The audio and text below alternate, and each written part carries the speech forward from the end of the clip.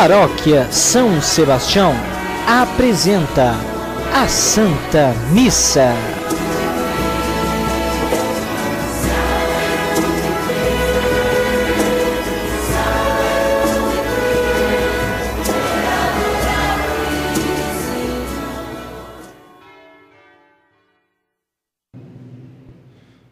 A ternura e a compaixão de nosso Deus.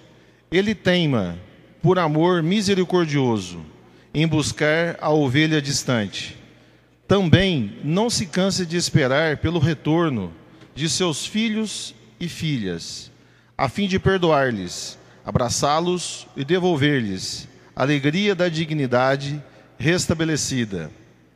Celebremos o amor misericordioso de Deus por nós, louvando-o com o canto inicial.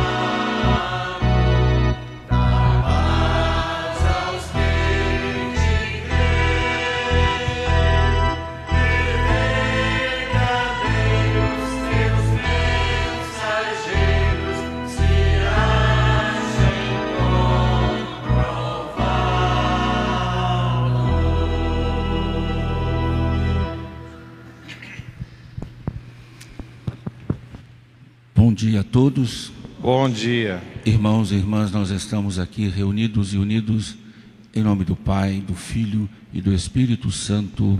Amém. A vós, paz e fé da parte de Deus, nosso Pai, a graça e a alegria de nosso Senhor Jesus Cristo, no amor e na comunhão do Espírito Santo.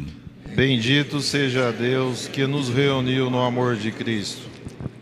Em Jesus Cristo, o justo que intercede por nós e nos reconcilia com o Pai, abramos nosso espírito ao arrependimento para sermos menos indignos de aproximar-nos da mesa do Senhor. Senhor, que vieste salvar os corações arrependidos, tende piedade de nós. Senhor, Deus da vida, tende piedade de nós. Cristo, que vieste chamar os pecadores, tende piedade de nós. Cristo, Deus de misericórdia, tende piedade de nós. Senhor, que intercedeis por nós junto do Pai, tende piedade de nós. Senhor, Deus de amor, tende piedade de nós. Deus Todo-Poderoso, tenha compaixão de nós, perdoe os nossos pecados e nos conduza à vida eterna. Amém. Glória a Deus nas alturas E paz na terra aos homens por ele amados. Senhor Deus, Rei dos céus, Deus Pai Todo-Poderoso, nós vos louvamos, nós vos bendizemos, nós vos adoramos, nós vos glorificamos, nós vos damos graças por vossa imensa glória. Senhor Jesus Cristo, Filho unigênito, Senhor Deus, Cordeiro de Deus, Filho de Deus Pai, vós que tirais o pecado do mundo, tende piedade de nós. Vós que tirais o pecado do mundo, acolhei a nossa súplica. Vós que estais à direita do Pai, tende piedade de nós. Só vós sois o Santo, só vós o Senhor, só vós, o Altíssimo, Jesus Cristo, com o Espírito Santo, na glória de Deus Pai. Amém. Oremos. Ó Deus, Criador de todas as coisas, volvei para nós o vosso olhar, e para sentirmos em nós a ação do vosso amor, fazei que vos sirvamos de todo o coração. Por nosso Senhor Jesus Cristo, vosso Filho, na unidade do Espírito Santo. Amém.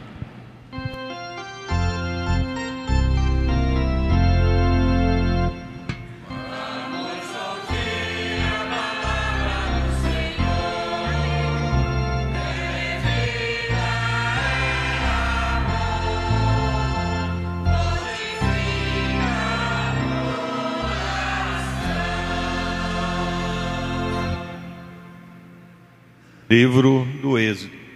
Naqueles dias falou o Senhor a Moisés: Vai, desce, pois corrompeu-se o teu povo que tirasse do Egito.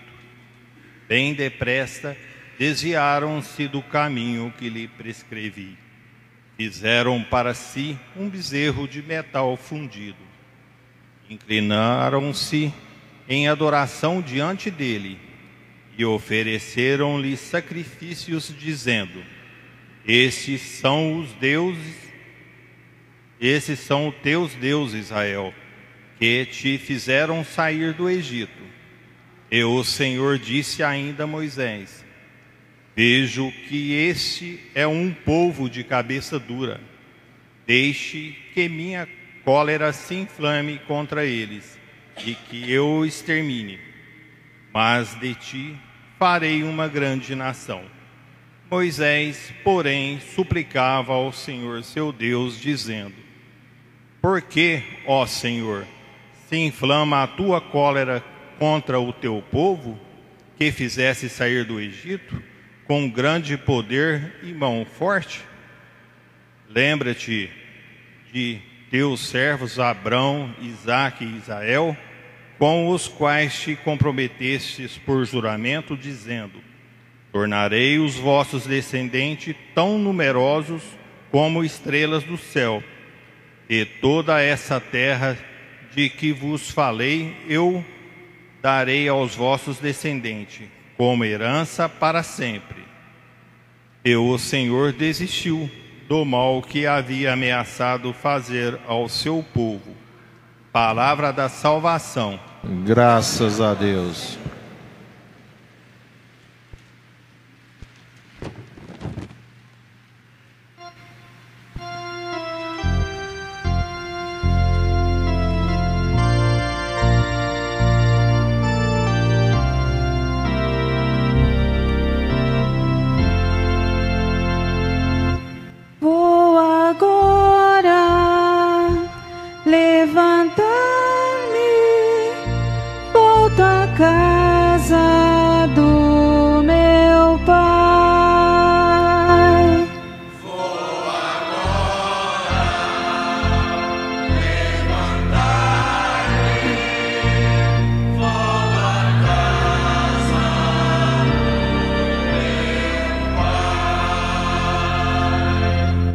Tende piedade, ó meu Deus, misericórdia. Na imensidão de vosso amor, purificai-me. Lavai-me todo inteiro do pecado e apagai completamente a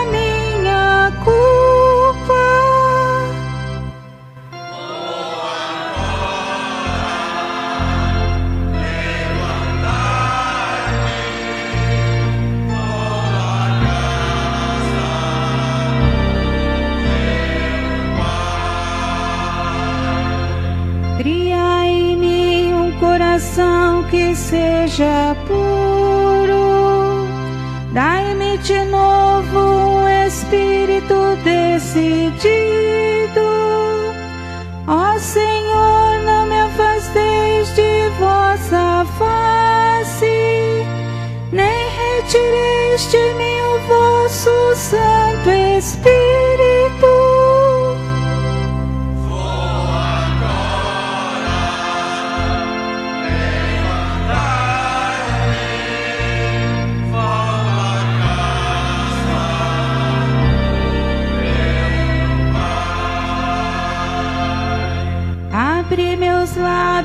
Senhor, para cantar, e minha boca anunciará vosso louvor.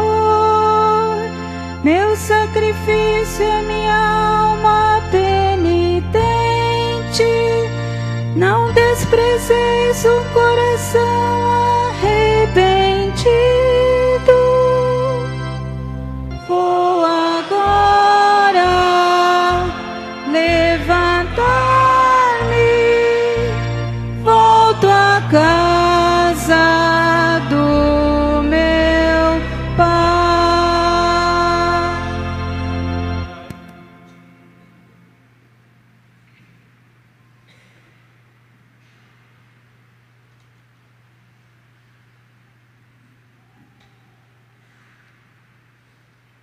Carta Carta de São Paulo a Timóteo. Caríssimo, agradeço aquele que me deu força, Cristo Jesus, nosso Senhor, pela confiança que teve em mim ao designar-me para o seu serviço. A mim, que antes blas- blasfemava, perseguia e insultava, mas encontrei misericórdia porque agia com a ignorância de quem não tem fé transbordou a graça do nosso Senhor com a fé e o amor que há em Cristo Jesus. Segura e digna de ser acolhida por todos é esta palavra. Cristo veio ao mundo para salvar os pecadores, e eu sou o primeiro deles. Por isso encontrei misericórdia para que em mim, como primeiro, Cristo Jesus demonstrasse toda a grandeza de seu coração. Ele fez de mim um modelo de todos os que crerem nele, para alcançar a vida eterna. Ao Rei dos séculos, ao único Deus, imortal e invisível, honra e glória pelos séculos dos séculos. Amém. Palavra do Senhor. Graças a Deus.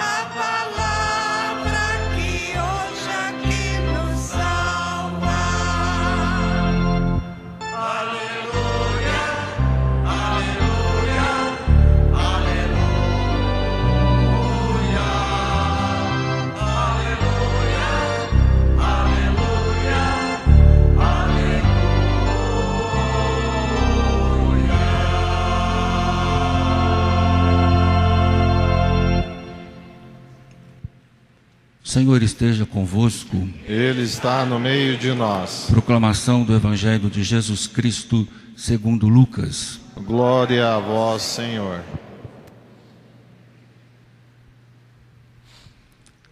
Naquele tempo, os publicanos e pecadores aproximavam-se de Jesus para o escutar. Os fariseus, porém, e os mestres da lei criticavam Jesus. Este homem acolhe os pecadores e faz refeição com eles. Então Jesus contou-lhes esta parábola: Se um de vós tem cem ovelhas e perde uma, não deixa as noventa e nove no deserto e vai atrás daquela que se perdeu até encontrá-la? Quando a encontra, coloca, coloca nos ombros com alegria e, chegando a casa, reúne os amigos e vizinhos e diz: Alegrai-vos comigo, encontrei a minha ovelha que estava perdida. Eu vos digo: assim haverá no céu mais alegria por um só pecador que se converte do que por noventa e nove justos que não precisam de conversão. E se uma mulher tem dez moedas de prata e perde uma, não acende uma lâmpada, varre a casa e a procura cuidadosamente até encontrá-la? Quando a encontra, reúne as amigas e vizinhas e diz: Alegrai-vos comigo, encontrei a moeda que tinha perdido. Por isso eu vos digo: haverá alegria entre os anjos de Deus por um só pecador que se converte. E Jesus continuou: Um homem tinha dois filhos. O filho mais novo disse ao pai: Pai, dá-me a parte da herança que me cabe. E o pai dividiu os bens entre eles.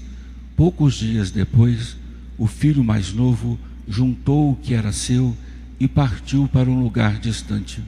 E ali esbanjou tudo numa vida desenfreada. Quando tinha gasto tudo o que possuía, houve uma grande fome naquela região e ele começou a passar necessidade. Então foi pedir trabalho a um homem do lugar, que o mandou para seu campo cuidar dos porcos. O rapaz queria matar a fome com a comida que os porcos comiam, mas nem isto lhe davam.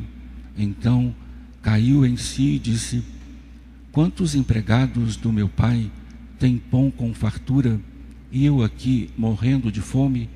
Vou-me embora, vou voltar para meu pai e dizer-lhe: Pai, pequei contra Deus e contra ti.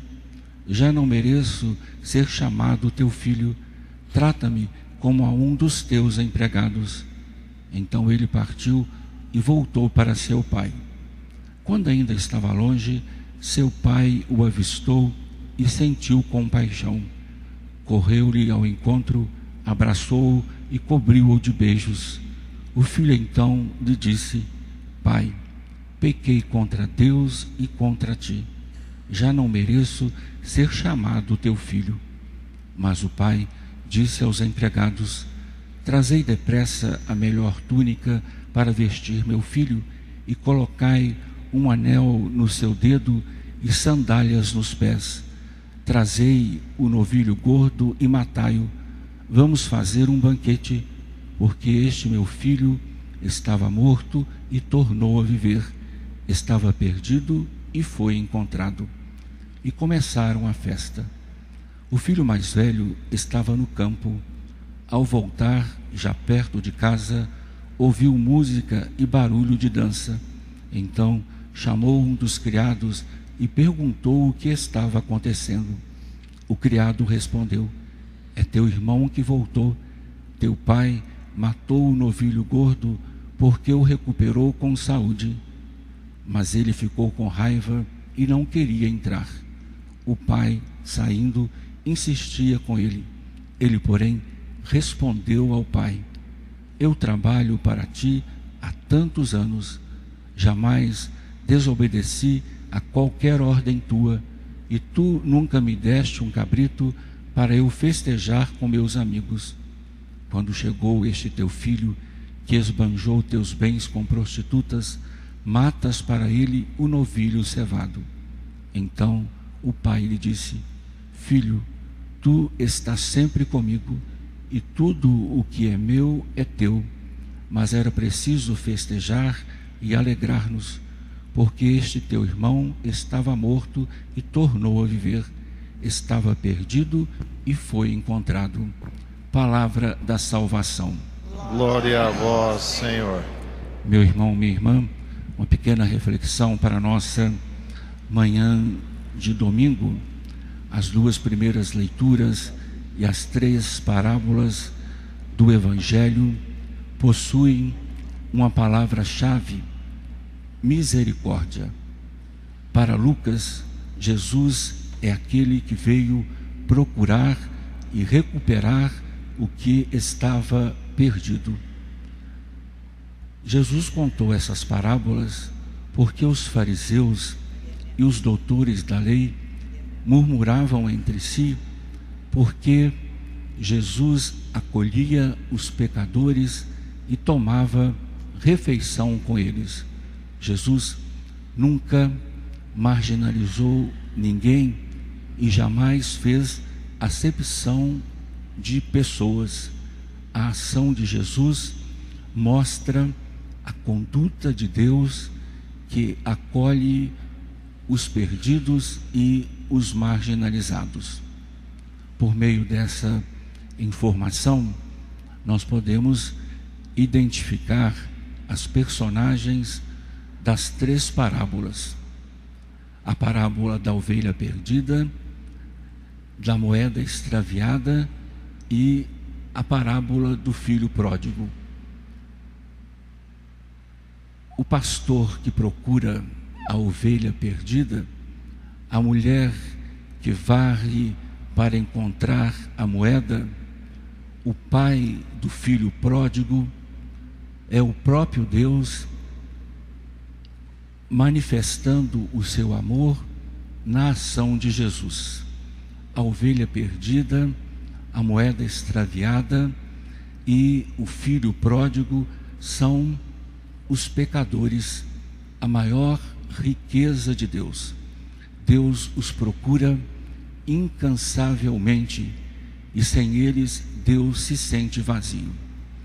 O filho mais velho é o Israel que se julga irrepreensível porque cumpre os mandamentos. Na primeira fila estão os fariseus e os doutores da lei. Das parábolas da misericórdia, a mais bela parábola contada por Jesus é a parábola do filho pródigo. E nós podemos dividir essa parábola em quatro partes. A primeira parte, o pai e o filho mais novo. A segunda parte, apenas o filho mais novo. A terceira parte, novamente, o pai e o filho mais novo. E a quarta e última parte, o pai e o filho mais velho. A primeira parte, a cena é muito breve, numa atitude ousada, contrariando todas as regras, o filho mais novo pede ao pai a sua parte que lhe cabe na herança. Naquele tempo, a herança era repartida quando o pai morria. Na falta deste, o primogênito assumia a gestão dos bens e no momento da partilha ele recebia dupla porção. Aqui o pai não reage e consente, dando a entender que para ele todos os filhos são iguais e têm o mesmo direito. Segunda parte, o filho mais novo, longe dos cuidados do pai, longe da segurança da casa paterna, a vida do filho mais novo se torna extremamente ambígua. Ele está pagando o preço da sua irresponsabilidade. Estranho em terra estranha, passa a viver a condição de servo, ou seja, deixa de ser filho para ser escravo. E a sua situação é extremamente humilhante, pois cuida de porcos, animais impuros por excelência para os judeus. E o que é pior, ele disputa com os porcos um bocado de comida. Portanto, ele está no fundo do poço, fazendo mesa comum com os porcos, ou seja, o que há de mais impuro segundo a tradição judaica. no fundo da sua humilhação, ele planeja voltar à casa do Pai. O seu discurso de apresentação constará de três partes: o reconhecimento do pecado, o reconhecimento da perda da filiação e o pedido para ser tratado como servo. Terceira parte da nossa parábola, novamente, o pai e o filho mais novo. Tem-se a impressão que o pai jamais desistira da ideia que o filho não voltasse. Vendo-o ainda ao longe, encheu-se de compaixão. Este verbo nos evangelhos é sempre atribuído a Jesus. Somente o bom samaritano, no capítulo 10, é capaz de ação de compaixão. Por isso que nós podemos dizer que é uma ação eminentemente divina, é a compaixão de Deus para com o sofrimento e a humilhação humanos. Observem que toda a ação do Pai visa restabelecer plenamente o Filho. Chama os criados, os servos, e manda vestir uma túnica no seu filho, ou seja, restabelece aqui a sua dignidade, tornando-o hóspede muito importante.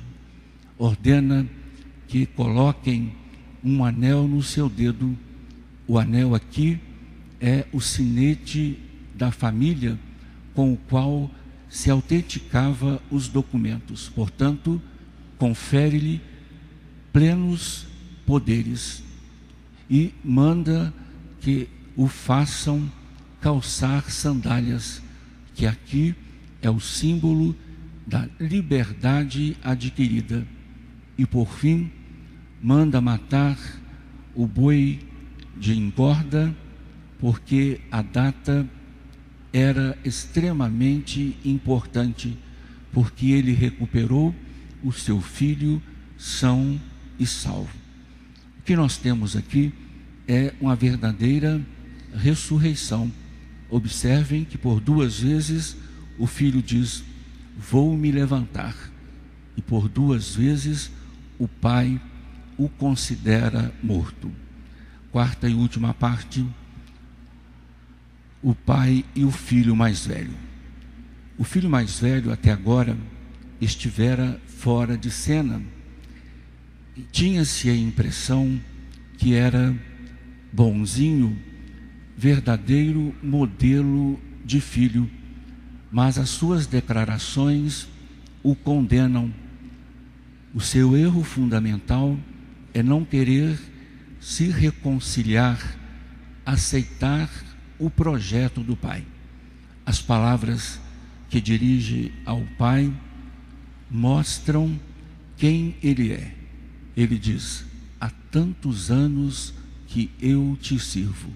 Portanto, ele não pauta a sua vida no relacionamento pai-filho, mas no relacionamento patrão-empregado. Até agora, ele se comportou na casa paterna como um empregado. E é ainda mais radical em relação ao irmão mais novo, calunia-o de ter devorado os bens do pai com prostitutas e se recusa terminantemente a chamá-lo de irmão. Limita-se a dizer: Esse teu filho. O pai tenta suscitar a reconciliação. Meu filho, este teu irmão estava morto e tornou a viver. Por quê?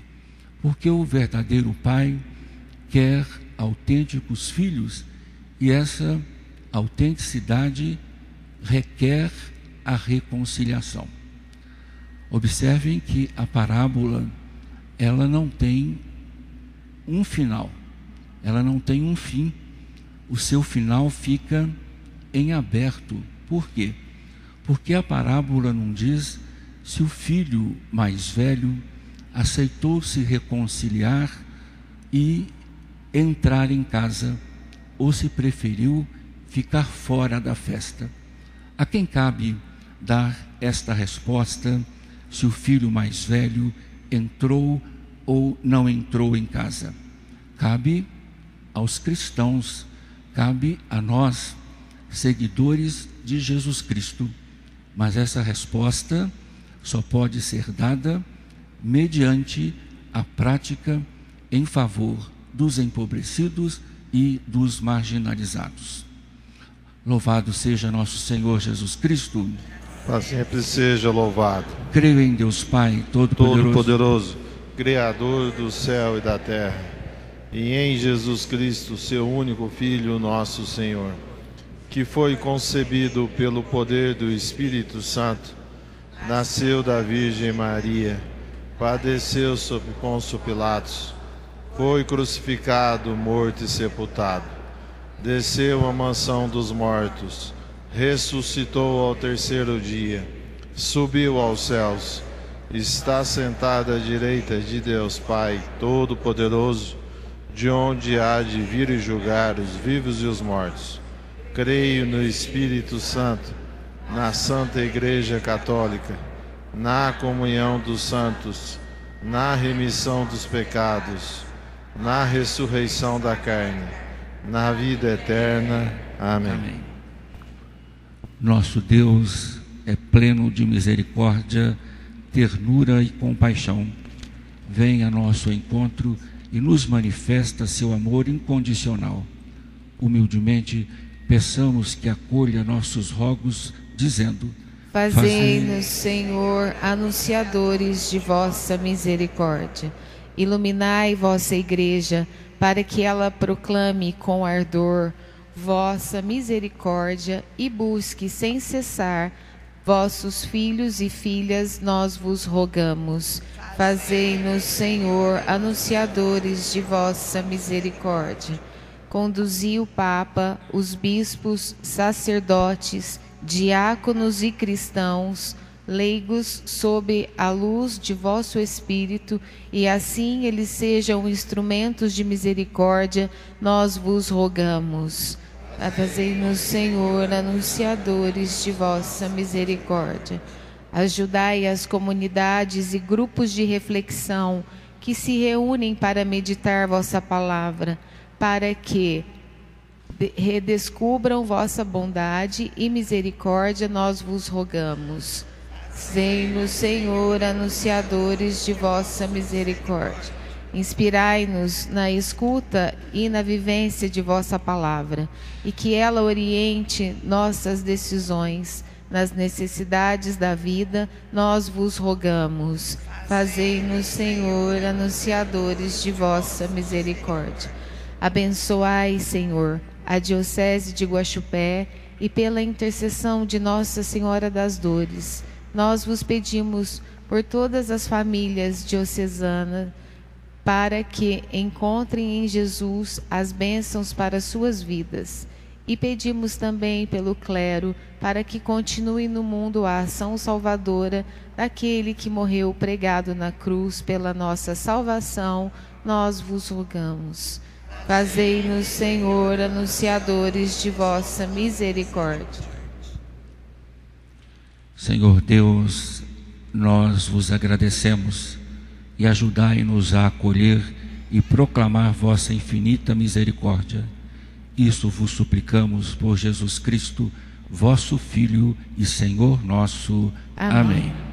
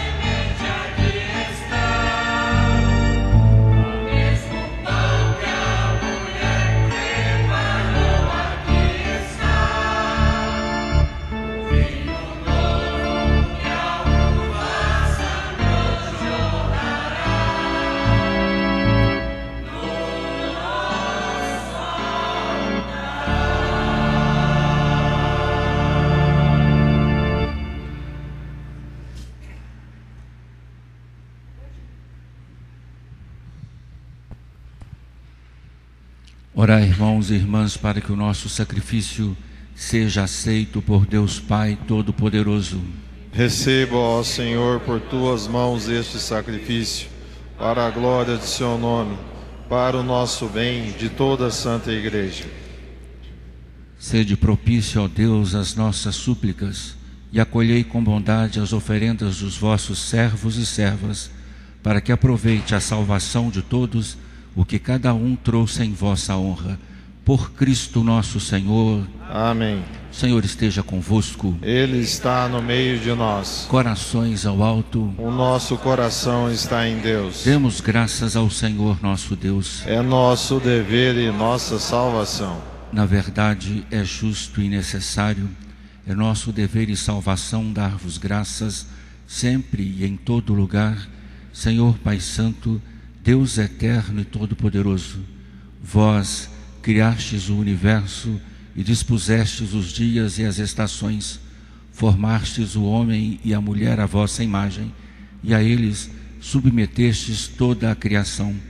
Libertastes os fiéis do pecado e lhes destes o poder de vos louvar por Cristo Senhor nosso. Unidos à multidão dos anjos e dos santos, proclamamos vossa bondade, cantando a uma só voz.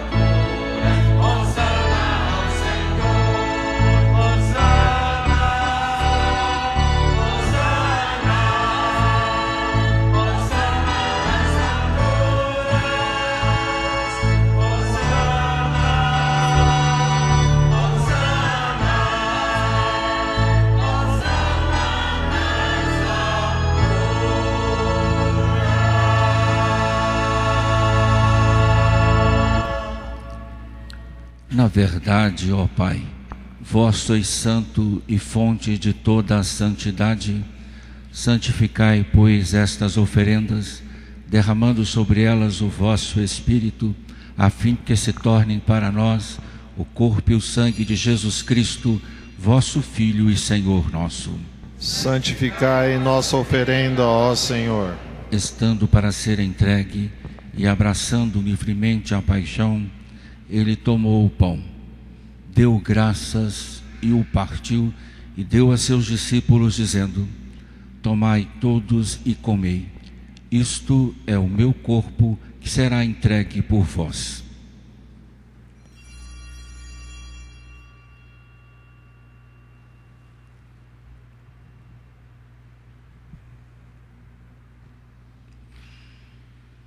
Do mesmo modo, ao fim da ceia, ele tomou o cálice em suas mãos, deu graças novamente e o deu a seus discípulos, dizendo: Tomai todos e bebei. Este é o cálice do meu sangue, o sangue da nova e eterna aliança, que será derramado por vós e por todos para a remissão dos pecados. Faze isto em memória de mim.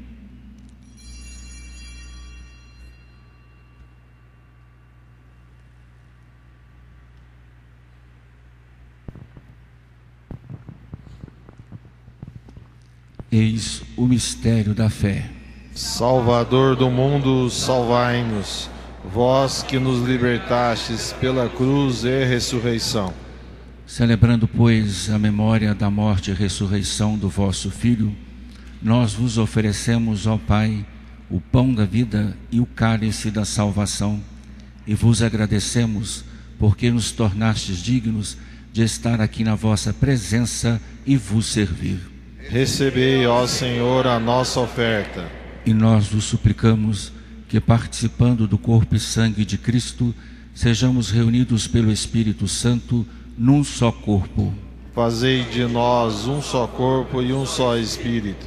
Lembrai-vos, ó Pai, da vossa Igreja, que se faz presente pelo mundo inteiro. Que ela cresça na caridade com o Papa Francisco, com o nosso Bispo José e todos os ministros do vosso povo. Lembrai-vos, ó Pai, da vossa igreja. Lembrai-vos também dos nossos irmãos e irmãs que morreram na esperança da ressurreição e de todos os que partiram desta vida, acolhei-os junto a vós na luz da vossa face. Lembrai-vos, ó Pai, dos vossos filhos. Enfim, nós vos pedimos, tende piedade de todos nós e dai-nos participar da vida eterna com a Virgem Maria, Mãe de Deus, com São José, seu esposo, com os santos apóstolos e todos os que neste mundo vos serviram, a fim de vos louvarmos e glorificarmos por Jesus Cristo, vosso Filho. Concedei-nos o convívio dos eleitos. Por Cristo, com Cristo, em Cristo, a vós, Deus Pai Todo-Poderoso, na unidade do Espírito Santo, toda honra e toda glória, agora e para sempre. Amém.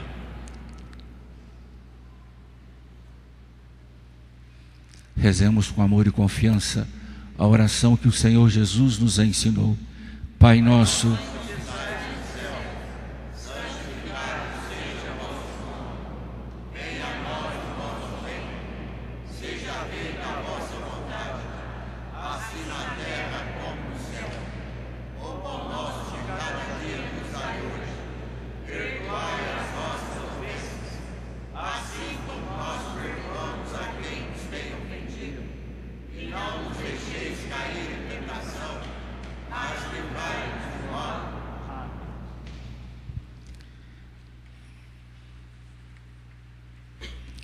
livrai-nos de todos os males, ó Pai, e dai-nos hoje a vossa paz.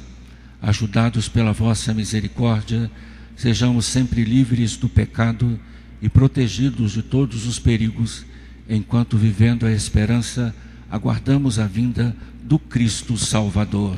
Vosso é o reino, o poder e a glória para sempre. Senhor Jesus Cristo, dissestes aos vossos apóstolos: Eu vos deixo a paz, eu vos dou a minha paz. Não olheis os nossos pecados, mas a fé que anima a vossa igreja. Dai-lhe, segundo o vosso desejo, a paz e a unidade. Vós que sois Deus, com o Pai e o Espírito Santo. Amém. A paz do Senhor esteja sempre convosco. O amor de Cristo nos uniu. Irmãos e irmãs, saudai-vos em Cristo Jesus.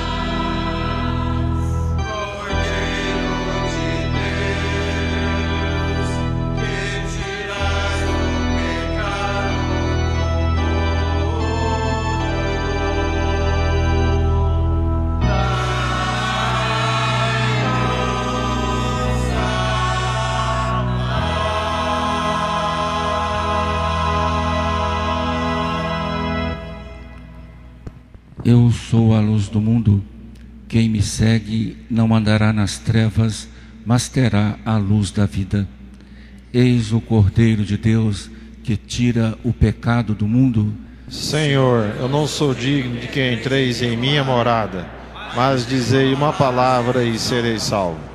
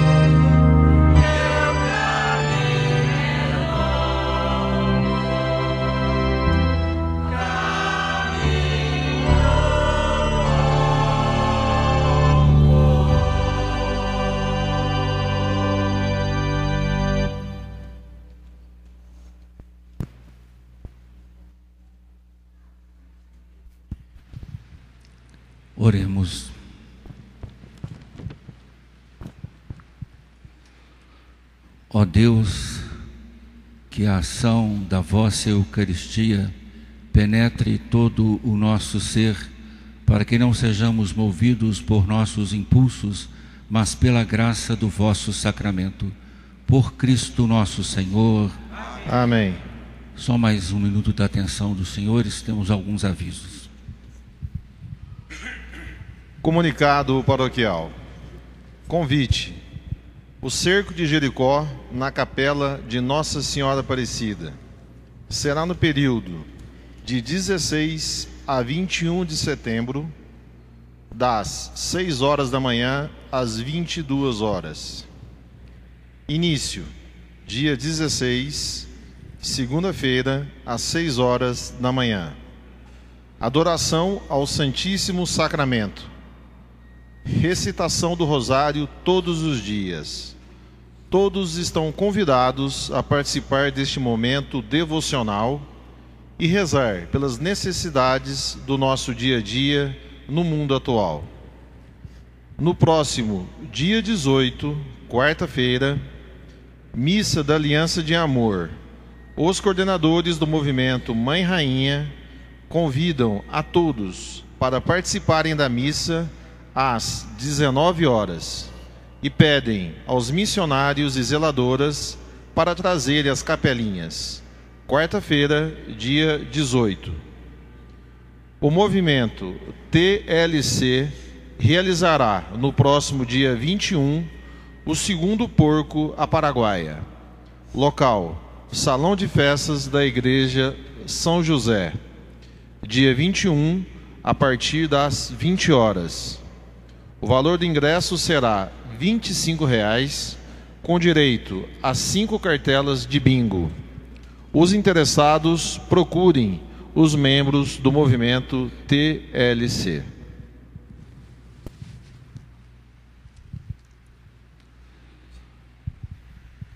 O Senhor esteja convosco. Ele está no meio de nós. Abençoe-vos o Deus Todo-Poderoso, Pai, Filho e Espírito Santo. Amém. Ide em paz que o Senhor Jesus vos acompanhe. Graças a Deus.